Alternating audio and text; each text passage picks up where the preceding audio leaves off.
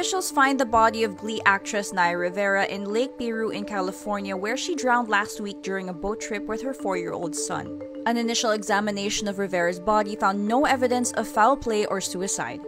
She is believed to have accidentally drowned. Authorities point to the lake's strong currents as a possible cause of a fatal accident. They say the boat might have drifted and Rivera mustered enough energy to get her son back onto the boat, but not enough to save herself. The 33 year old actress was best known for her role as Santana Lopez in musical TV series Glee.